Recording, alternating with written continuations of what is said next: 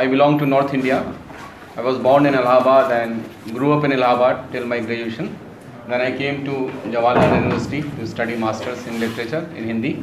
Then I did my masters in mass communication from Jamia.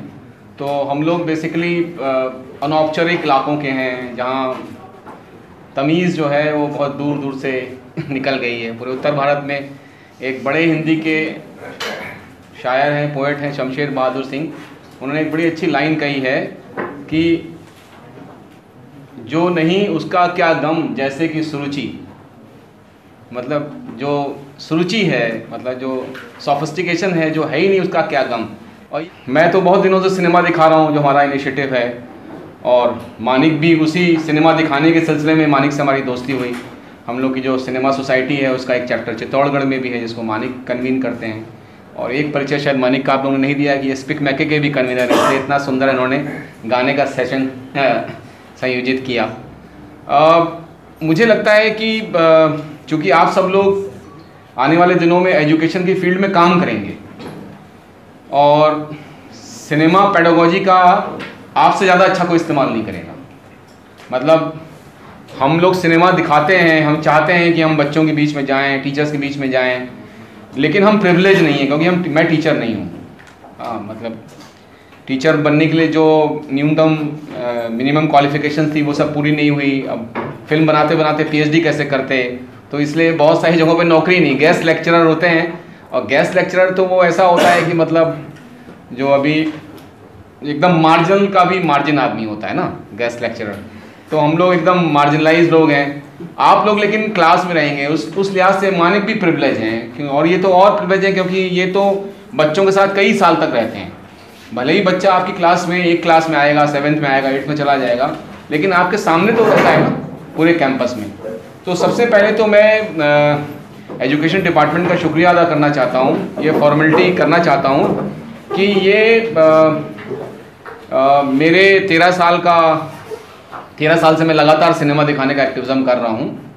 मैं जब कह रहा हूँ तो मतलब मेरा इनिशिएटिव जिसके साथ मैं जुड़ा हूँ सिनेमा ऑफ़ रेजिस्टेंस तो पहली बार हमें इंस्टीट्यूशनल के रूप में कहीं से हमें जो ऑफ़र मिला तो यहाँ से मिला। अभी हम ये हाँकते भी रहते हैं बाहर के हम सिनेमा पैडागोजी पे काम कर रहे हैं। सच बात है कि दिल्ली यूनिवर्सिटी के एजुकेशन डिपार्टमेंट के अलावा किसी को मतलब ही नहीं है सिनेमा पैडागोजी से। और अच्छी बात यह है कि आप सारे लोग सिर्फ़ सिनेमा पैडागोजी के बारे में सुनेंगे नहीं बल्कि इसका व्यवहार करेंगे आगे जाकर। तो तब ये होता है कि तब आप जो कुछ भी तैयारी करके आते हैं आपके अपने ऑनरियम मिलने के, के अलावा जो दूसरा जो एक बड़ा ऑनरियम होता है कि आपकी जो आपने मेहनत करी है वो शायद आगे जाएगी। तो मेरी जो सिनेमा पेडागोजी है वो किसी एकेडमिक उद्देश्य नहीं तैयार हुई है। मुझे कोई रिसर्च नहीं करनी थी। मेरी सिनेमा पेडागोजी मेरा एक सिनेमा के बारे में कंसेप्ट था। मेरे जैसे कई दोस्तों का कंसेप्ट था।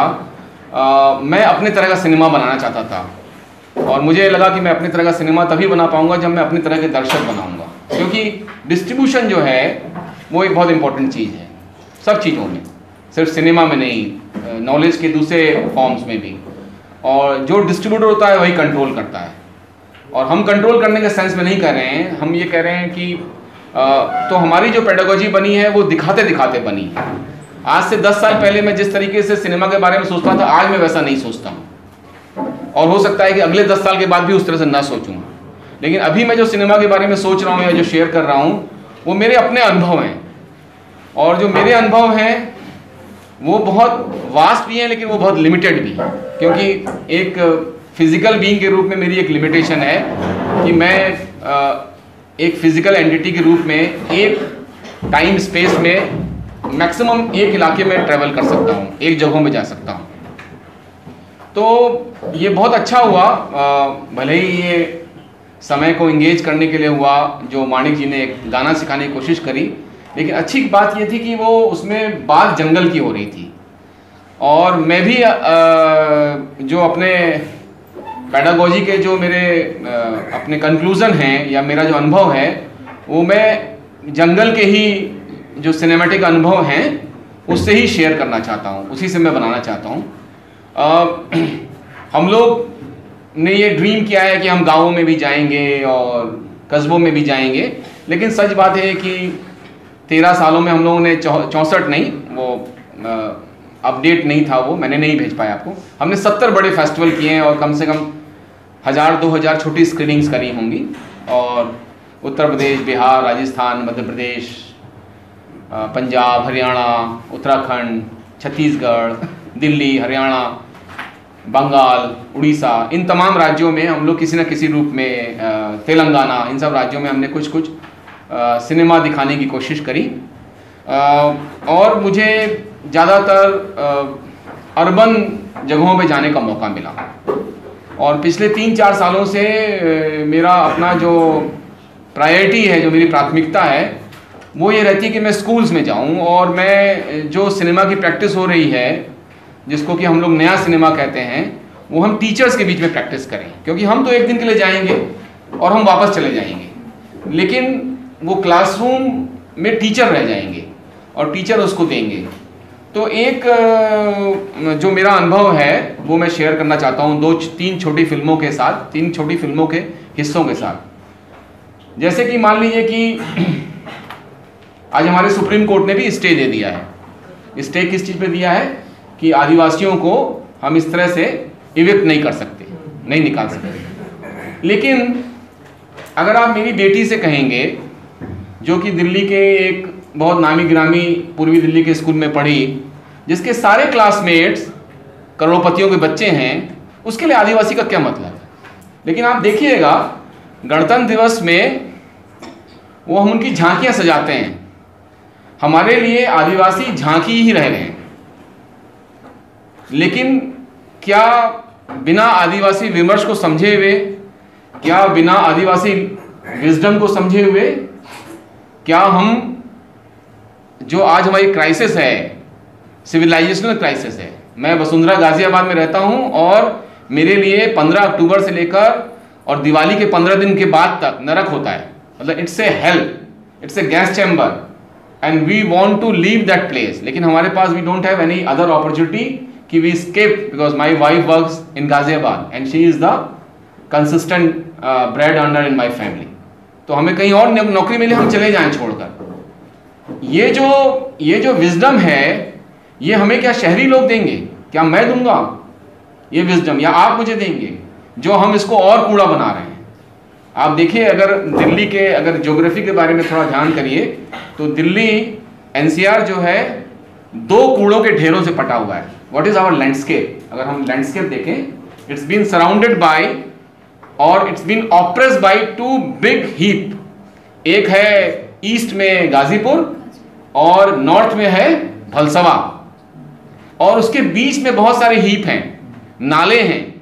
तो बेसिकली जो मेरा जो मेरा मानस है, जो मेरा साइके है, उसमें खुशबुएँ खत्म हो गई हैं।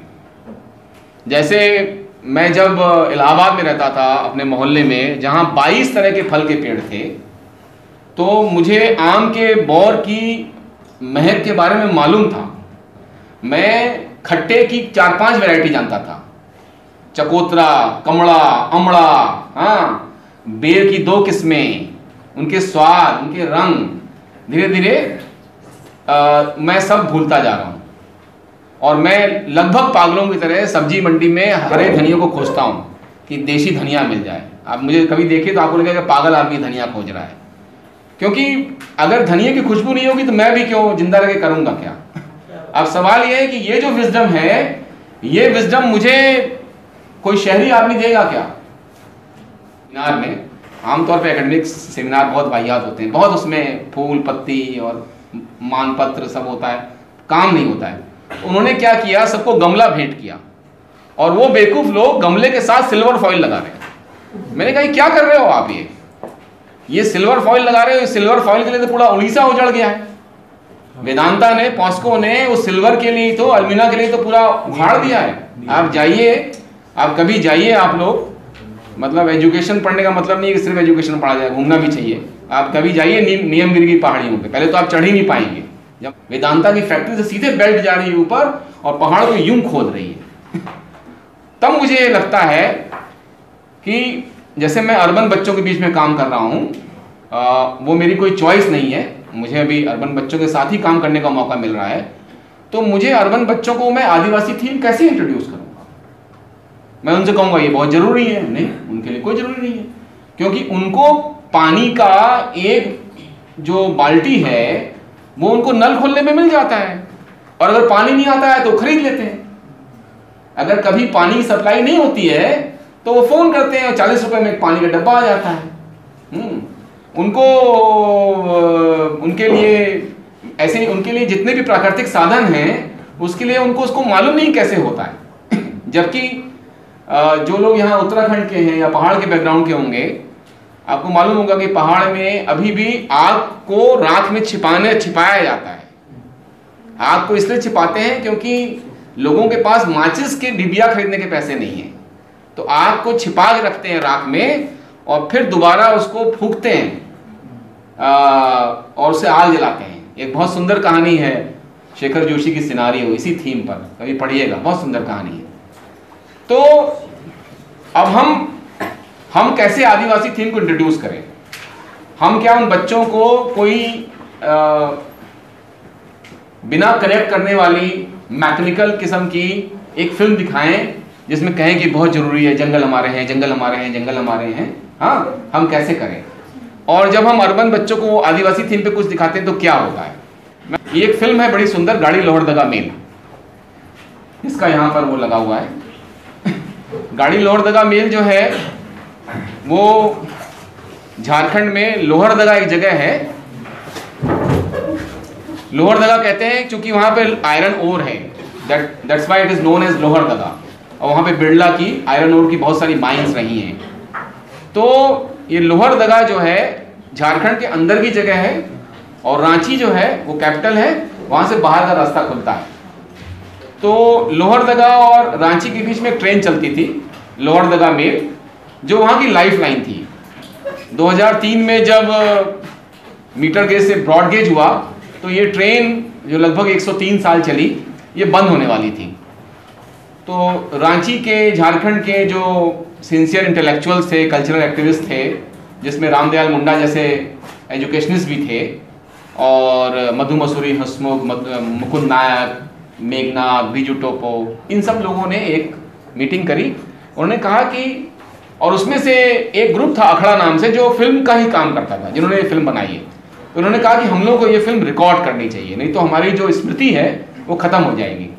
और आप जानते हैं कि कैसे हमारे देश में मेमोरी को ख़त्म करने का खेल चल रहा है। Memory is a very important thing है ना? तो ये जब उन्होंने ट्रेन डॉक्यूमेंट करी तो उसमें उन्होंने क्या किया?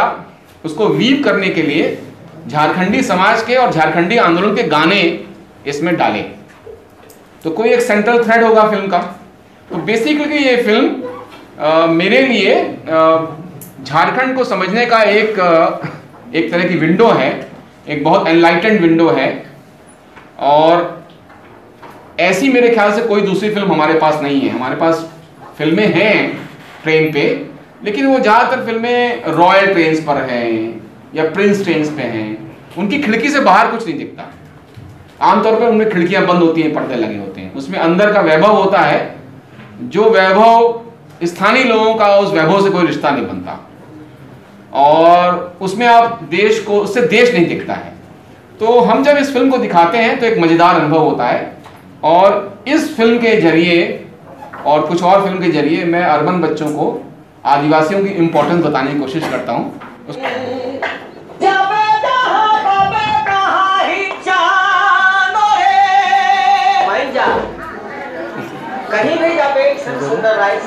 नहीं। चांदों के पेट का भूख, मजबूरी।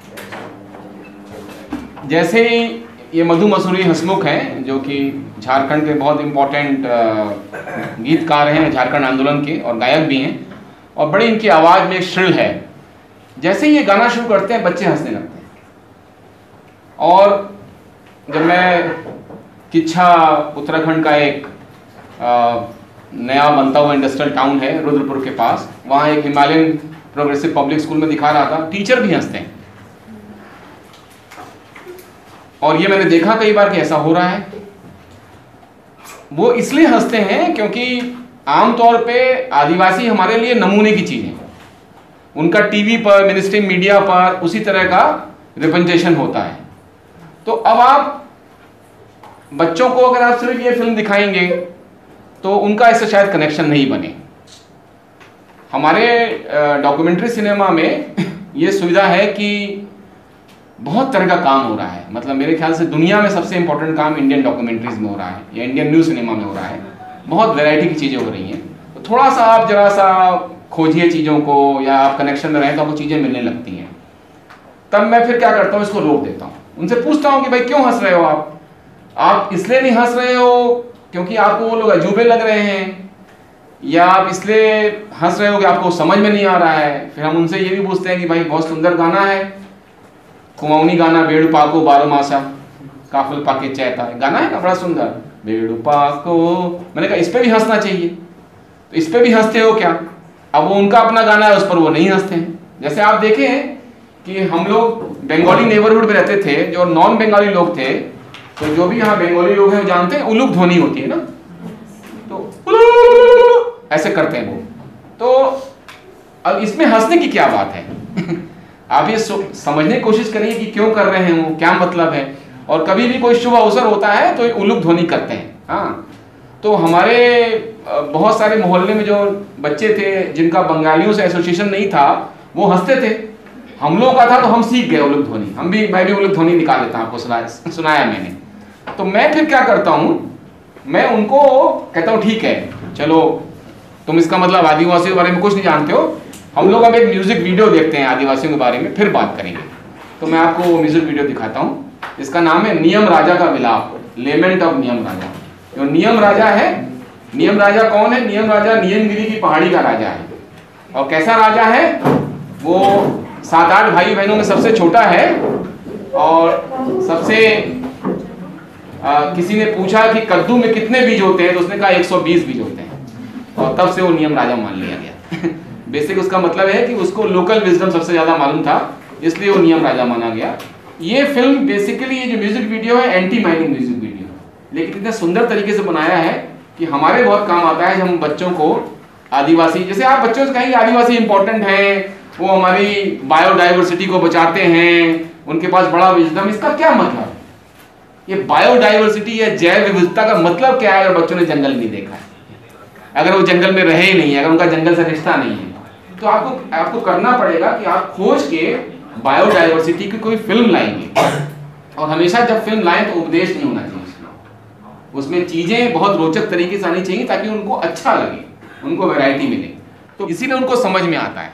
इसीलिए शहरी बच्चे या हम शहरी लोग भी आदिवासियों को देखकर हँसते हैं। हमें बेसिकली समझ में नहीं आता। बेसिकली उनको हमारे ऊपर हंसना चाहिए कि हम कितने बेचारे हैं। तो मैं ये फ़िल्म ज़रूर दिखाता हूँ। और इसके बाद में अगर उनको कुछ और दिखाता हूँ, तब वो कम हँसते हैं, तब नहीं हँसते हैं। जैसे इसके बाद मैं फिर उनको एक गाना दिखाता हूँ। पहले भी दिखाया होगा, आज आपको फिर दिखाता हूँ। वो जो गाना है आदिवासियों की लड़ाई के बारे में, गाँव छोड़ब नहीं, जंगल छोड़ब नहीं। गाँव छोड़ब नहीं छोड़ब नहीं माय माटी छोड़ब नहीं छोड़ब नहीं, गाँव छोड़ब नहीं, जंगल छोड़ब नहीं माय माटी छोड़ब नहीं छोड़ब नहीं। अगर आप उनको स्टूडेंट्स को अगर आप माए माटी नहीं छोड़ने का या माए माटी के ख़त्म होने का लॉजिक बता पाएँगे, तब उनको ये कम्युनिकेट करेगा और ये पैडागोजी में मेरे ख्याल से बहुत ज़रूरी चीज़ है कि आप लॉजिक बना पाते हैं कि नहीं। दूसरी बात यह है कि सिनेमा में खास तौर पे अगर आप सिनेमा को पैडागोजी में इस्तेमाल कर रहे हैं तो सिनेमा को जो हम आगे के सेशन में करेंगे, उस, उसमें क्या क्या टेक्स्ट है, उसमें क्या क्या मीनिंग निकल रही है, ये हमें थोड़ा समझना होगा। हमें सिनेमा को थोड़ा सा देखने का तरीका बदलना होगा। और पहले वाले भी म्यूज़िक वीडियो में वो क्या कह रहे हैं? वो कह रहे हैं, बिन पानी, बिन माटी मर गए सभी। और दूसरे में ये कह रहे हैं कि गाँव छोड़ब नहीं, जंगल छोड़ब नहीं, माए माटी छोड़ब नहीं। अब सवाल ये है कि जब बच्चे को माए माटी के के महत्व का मतलब मज़ा मतलब मालूम होगा, तभी तो वो उसको अप्रिशिएट कर पाएगा। और तभी तो आपको सिनेमा को पैडागोजी में इस्तेमाल करने का मतलब बनेगा। तो ये एक छोटा सा लॉजिक जो हमने ओवर द ईयर्स पिछले सात आठ सालों में अलग जगह दिखाते हुए डेवलप किया और अब हम इसको इस्तेमाल करते हैं। इस तरह के कई तरह के लॉजिक बनाए जा सकते हैं और उसके लिए पहले तो आपको खुद थोड़ा देखना पड़ेगा। थोड़ा धैर्य से चीज़ों को देखना पड़ेगा क्योंकि बहुत सारे लोग कैमरा लेके फ़िल्म बना रहे हैं।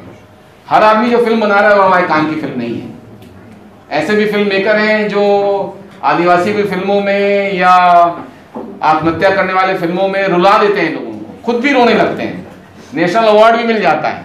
तो थोड़ा उन सबको भी हमें हमें देखना होगा कि हमारे काम का क्या है मटेरियल और फिर उसको हम कैसे इस्तेमाल करें। और बहुत मतलब बहुत अच्छा माध्यम है। और किसी किताब को, टेक्स्ट को पढ़ने के लिए खास तरह की इंटेलिजेंस की ज़रूरत होती है। एक खास तरह के एक्सपोजर की ज़रूरत होती है। सिनेमा के लिए इस तरह की ज़रूरत नहीं है। आपके खाली आँख और कान ठीक होने चाहिए। उससे काम चल जाता है। और जो नए बच्चे हैं जो नए बच्चे पैदा हो रहे हैं या जो अभी कुछ सालों पहले पैदा हुए हैं पंद्रह बीस साल पच्चीस साल पहले वो तो कैमरे के साथ ही पैदा हुए हैं ना। पैदा होते ही उनके हाथ में कैमरा आ गया है। आजकल बड़े प्यार से लोग बताते हैं हमारा बेटा तो डेढ़ साल का है मोबाइल ठीक कर, करा लेता है। तो अब यह है कि अब उस छोटे बच्चे को अगर आप विजुअल के थ्री नहीं नहीं समझाएँगे तो आप खुद ही आउटडेटेड हो जाएँगे। तो आप कैसे मतलब मुझे लगता है ये बहुत अच्छी बात है कि दिल्ली यूनिवर्सिटी का एजुकेशन डिपार्टमेंट सिनेमा पेडोलॉजी की बात कर रहा है तो बहुत अच्छी बात है। क्योंकि सबसे, हिंदुस्तान का सबसे विश्वसनीय डिपार्टमेंट है एजुकेशन का। तमाम तरह के नवाचार यहाँ से हुए। और अभी हम चूँकि साइलेंट एरा की बात की बात कर रहे हैं, इसलिए हम साइलेंट सिनेमा की बात नहीं कर रहे हैं। हम आपसे उसी सिनेमा की बात करेंगे जिसमें साउंड है साउंड वाला सिनेमा। जैसे कि साउंड के अलग अलग तरह के अनुभव भी होते हैं। आ, आपने देखा होगा कि तीन पैनलिस्ट थे हम लोग मैं मानिक और ज्योति जी। तीनों लोगों का बोलने का अंदाज अलग तरह का था। ज्योति बहुत फास्ट बोल रही थी। मैं भी थोड़ा फास्ट बोलता हूँ थोड़ा तेज बोलता हूँ। हम्म। और मानिक थोड़ा, क्योंकि साउंड के आदमी है, आवाज़ के आदमी है, थोड़ा इनकी आवाज़ सबसे बेहतर थी। तो आपने हमें पहचान लिया, चेहरे से पहचान भी लिया आप हमें, लेकिन आप बाहर से भी डिफ्रेंशिएट कर सकेंगे कि मानिक बोल रहे हैं कि संजय जोशी बोल रहे हैं। कैसे कर पाएँगे? आप तो हमको पहली बार देख रहे हैं। आप हमारी साउंड की क्वालिटी से, है ना? और होता क्या है कि जो हमारा मानस है जो हमारा जो साइके बना हुआ है वो इसी तरह के ऑडियो विजुअल अनुभवों से बना होता है। इसीलिए जो हमारे साथी यहाँ बैठे हैं आपका क्या शुभ नाम है? फाकिश फाकिश। फाकिश? चूँकि विजुअली चैलेंज हैं इनका जो ऑरल कैपेसिटी होगी वो एकदम डिफरेंट होगी हम लोग कल्पना ही नहीं कर सकते। क्योंकि ये उससे मरूम रहे विजुअल उससे तो उनकी वो, उनका फोकस कर गया दूसरे भी लोग। इसलिए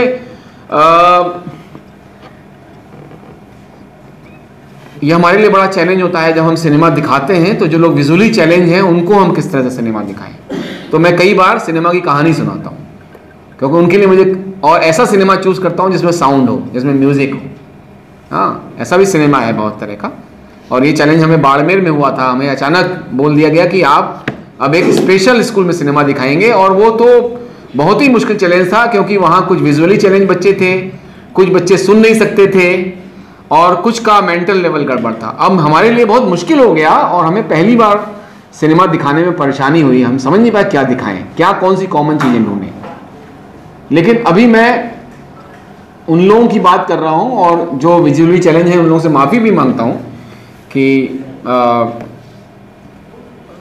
दोबारा मुझे मतलब एक साल के बाद दोबारा अब ऐसा मौका आया जब विजुअली चैलेंज लोग मेरे दर्शक हैं और मैं उस पर काम नहीं कर पाया। कोशिश करूँगा कि उनके लिए भी कुछ इंटरेस्टिंग चीज़ हो। जैसे ये जो फ़िल्म है ये, उनके लिए भी इंटरेस्टिंग फ़िल्म है। तो कहने का मतलब यह है कि आपको सिनेमा का आप तभी बेहतर इस्तेमाल कर पाएँगे जब आप सिनेमा को हमने पिछली बार भी सिनेमा लैंग्वेज के बारे में बात करी थी, अगर कुछ लोग हों यहाँ पे पिछले क्लास के स्टूडेंट तो आपको सिनेमा को टोटलिटी में देखना होगा। इसीलिए ये हो सकता है इरिटेटिंग भी लगे बार बार कहना आपको, और आपको लगे कि आप तो इतने सीनियर क्लास में आपको क्या समझाया जा रहा है, कि थोड़ा सिनेमा देखने की तमीज़ बनाइए। जब सिनेमा बैठ रहे हैं ना तो अगर आप लैपटॉप पे देख रहे हैं तो हेडफोन लगा के देखिए। हाँ। और घर पे देख रहे हैं तो जिस समय सिनेमा देख रहे हैं सिनेमा ही देखिए। कुकर उकर बंद कराइए। पता चला कि कोई एक साउंड इफ़ेक्ट है उसी समय सीटी बज गई कुकर की। या दूध का उबाल आ गया आप भागे और आपने वो मिस कर दिया। अगर आप कोई चीज़ उस पर देख रहे हैं आ, पर्दे पर देख रहे हैं हाँ ये मतलब टीवी पे देख रहे हैं। अब देखिए अभी बहुत रिसेंट मैं आपको इसका एग्ज़ाम्पल दूँ साउंड का क्या मतलब होता है? साउंड कैसे पर्सपेक्टिव बनाता है? अभी जो हमारे माननीय सांसद और विधायक लोगों ने जो जूतम पैजार करी है उसका आप लोगों ने वीडियो देखा ना? उसके वीडियो में वो कैसे अभद्र हैं एंटी वुमेन हैं आपको कैसे पता चल रहा है? इंडिसेंट है and they are anti women गालियाँ। क्या धारा प्रवाह गालियाँ चल रही उसमें? है ना? उन दो, उन दोनों की माए और बहनें बेचार बेमतलब बे, बे लिए हमेशा ऐसा होता है। हमारी जो गालियाँ हैं वो एकदम पेट्रियाकी से लबालब भरी हुई है। लेकिन हमें पता कैसे चला? अगर हमारे पास उसका साउंड नहीं होता तो वो हमें इतने विक्टिम नहीं लगते। जूते तो उन्होंने एक दूसरे के ऊपर मारे लेकिन गालियाँ उन्होंने महिलाओं को जूते खाली मारने से वो उनकी बुराई नहीं हो रही है। आप अगर फेसबुक पोस्ट देखें, कल से लेकर आज तक खूब फेसबुक पे चला है और बड़ा जूता, बड़ा मज़ाक बन गया है।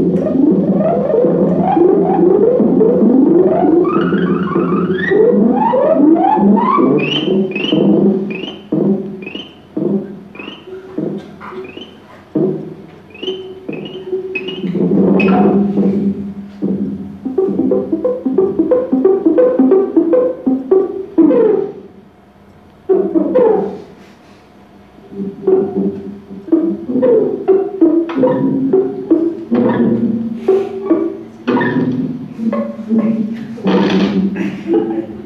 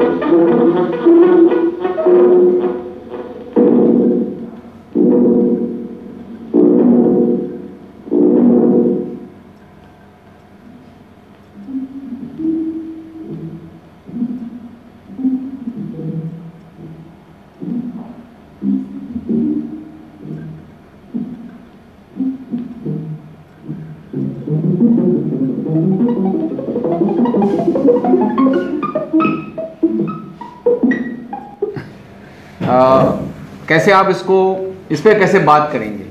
और इस पर क्या क्या बात हो सकती है? जैसे कि ये एँ, एंटी वॉर के बारे में वॉर के बारे में इससे अच्छी कोई फ़िल्म नहीं हो सकती। दूसरी बात ये खुद जो आप सिनेमा को पेडागोजी में इस्तेमाल कर रहे हैं खुद मास मीडिया किस तरीके से बच्चों पे प्रभाव डालता है उसको जानने के लिए भी बड़ी मज़ेदार फ़िल्म है। मतलब जब भी मैं स्क्रीनिंग करता हूँ, कोशिश करता हूँ कि ख़ास तौर पर अगर बच्चों के साथ कर रहा हूँ, कि मैं स्क्रीनिंग के दौरान रहूँ पूरा। दस मिनट की फ़िल्म में दस मिनट बैठा रहूँ। तो क्या होता है? पता चलता है कि जो बच्चे हैं, वो पूरी फ़िल्म में हँसते हैं। बड़ा मज़ा आता है लड़कों को ख़ास तौर पे लड़कों को। लड़कियाँ अलग तरह से बिहेव करती हैं। लड़के अलग तरह से। और शहरी बच्चे अलग तरह से, ग्रामीण बच्चे अलग तरह से। तो शहरी बच्चे जो हैं, खासतौर से जो बॉयज़ हैं, वो बहुत उनको मज़ा आता है। मार हा हा थ्रू आउट पूरी फ़िल्म के आखिरी तक। फिर आप उनसे पूछिए कि क्या पूरी फ़िल्म में हंसना था? कहेंगे हाँ। क्यों हंस रहे थे? वो एक ऐसा कर रहे थे बेकूफ़ी कर रहे थे। तो हमने कहा अच्छा ये बताओ, मैं पूछता हूँ ये बताओ कि वो जब एक दूसरे की औरतों को मार रहे थे, तब भी हमें हंसना था क्या? अब उनके लिए सवाल होता है, क्योंकि उनके माँ बाप ने उनसे कभी पूछा ही नहीं कि क्या टीवी का प्रोग्राम देख रहे हो। जो भी कूड़ा कचरा आपने टैप ऑन किया टीवी का, जो भी कूड़ा कचरा आ रहा है, वो बच्चे देख रहे होते हैं, क्योंकि माँ बाप के पास फुर्सत ही नहीं है। मतलब बहुत सारे माँ बाप तो मध्यवर्गीय माँ बाप रोजी रोटी में फंसे हुए हैं और बहुत सारे माँ बाप जिनके पास रोजी रोटी की दिक्कत नहीं है, उनकी अपनी व्यस्तताएँ हैं, बच्चों के लिए समय ही नहीं है। बच्चों के लिए कार्टून टीवी लगा दो। तो जिन बच्चों को टेलीविज़न का कम एक्सपोजर है, वो कम हँसते हैं। वो हिंसा वाले दृश्य में कम हँसते हैं। इसका मतलब ये है कि आप सिनेमा के ज़रिए सोसाइटी किस तरह से ग्रूम हो रही है, इसका भी अध्ययन कर सकते हैं। सिर्फ़ यही नहीं कि आपको क्या देना है सोसाइटी को। सोसाइटी किस तरह से सिनेमा देख रहा है, उससे होता है। लड़कियाँ आमतौर पे जब वो मारते हैं महिलाओं को तो वो चाचा की साउंड आती है आमतौर पे।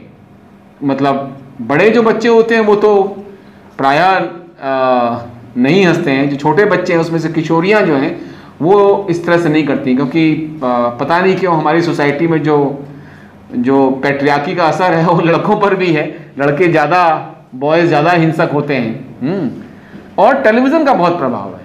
दूसरा ये है कि अगर आप इस फ़िल्म को इंट्रोड्यूस करेंगे इस पर बातचीत करेंगे तो क्या ये केवल दो परिवारों की बंटवारी की रिसोर्सेज की लड़ाई है?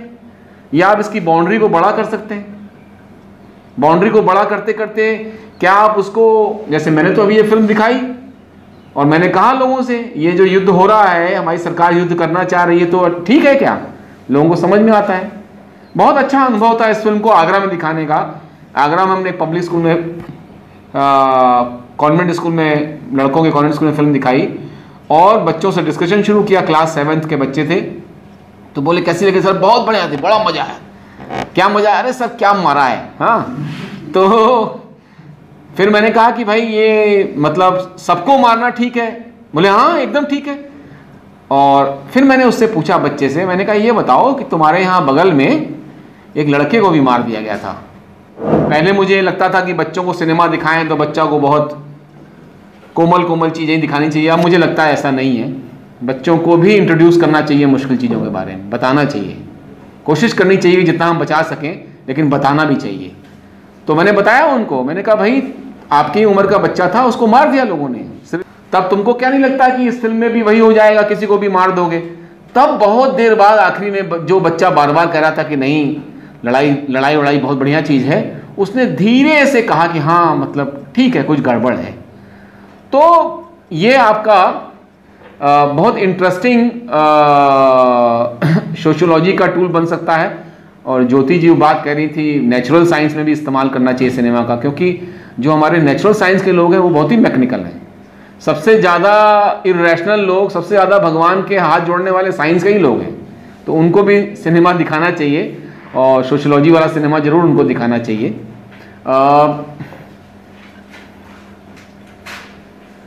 सिनेमा में एक तो ये है जैसे टेक्स्ट है तो जिस समय ईरान इराक वॉर हो रहा था उस समय जब हम इस फ़िल्म को दिखा रहे थे तो हम कहते थे भाई ये फूल नहीं है ये तो पेट्रोल है और ये दो देश लड़ रहे हैं और दो देश लड़ेंगे तो देखो आ, सबसे ज़्यादा नुकसान जो है महिलाओं और बच्चों को होगा। ऐसा ही होता है।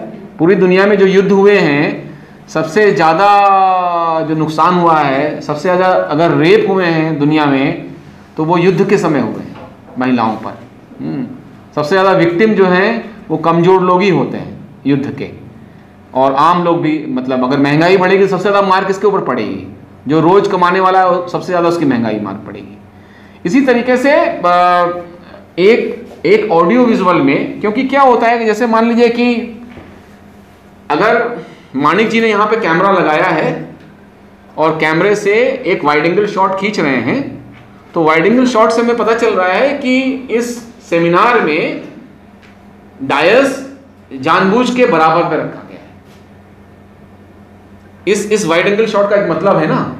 मतलब यहाँ पर आ, आप ऐसे हमको नहीं देख रहे हैं। हम ऐसे बात कर रहे हैं आपसे। ये हमें कैसे पता चलेगा? ये हमें पता चलेगा 20 साल बाद जब कोई मार्निक का डॉक्यूमेंटेशन देखेगा तब पता चलेगा अच्छा एजुकेशन डिपार्टमेंट में तो ऐसा होता था। और वहाँ पर कितना ऊँचा डायस था मैं बताता हूँ आपको। इतना ऊँचा डायस था।